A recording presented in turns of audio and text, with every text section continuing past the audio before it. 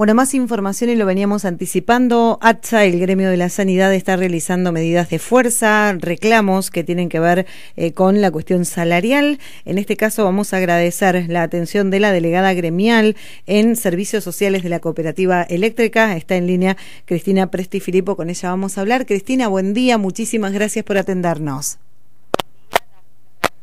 Por comunicarse con nosotros, con nuestro gremio. Cristina, bueno, justamente para dar a conocer cuál es la situación, ¿qué es lo que está reclamando hoy el gremio y de qué manera se lleva adelante este reclamo? Bueno, en el día de la fecha se empieza con asambleas en cada establecimiento eh, de salud privada. Eh, lo que estamos reclamando es la revisión del 16% de lo que quedó del año pasado eh, del aumento de paritarias.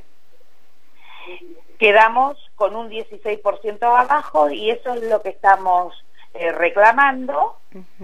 Y bueno, eh, tuvimos que empezar con este plan de lucha porque no, no recibimos eco de las autoridades pertinentes.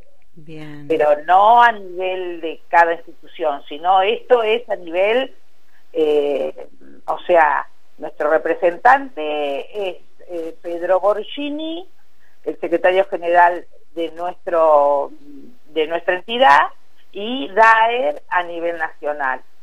Son ellos los que están este, en esta lucha en la cual no han recibido el eco pertinente.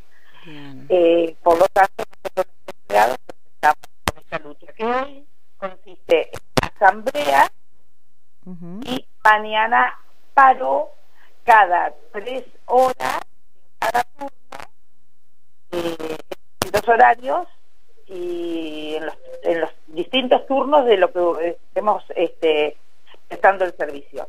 Bien, son tres turnos por eh, día, digamos. tres turnos por día. Bien. Cada turno hace tres horas de paro.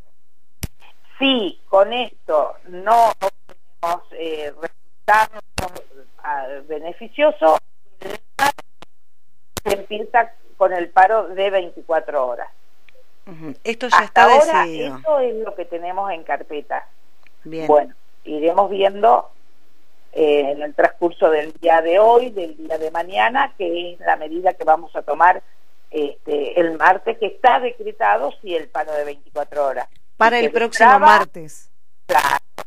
Bien. Traba la situación, bueno, este, seguimos adelante y esperando a junio que ya se abren paritarias nuevamente las pertinentes a este año. Bien.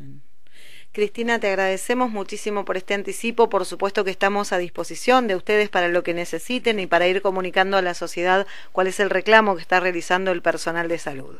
Bueno, muchísimas gracias a ustedes por tenernos en cuenta y por comunicarse. ¿eh? A disposición para lo que necesiten. bueno, muchas gracias. muy en cuenta. Gracias, ¿eh? Adiós. Cristina Prestifilipo es la delegada gremial de ATSA, el gremio de sanidad en servicios sociales de la cooperativa eléctrica. Hay asambleas hoy durante todo el día y mañana se realiza un paro de actividades que suma nueve horas. Son tres horas en cada uno de los turnos en los servicios de salud, teniendo en cuenta que quedó un remanente del 16% de aumento del año anterior y en el mes de junio se debería retomar la paritaria 2021.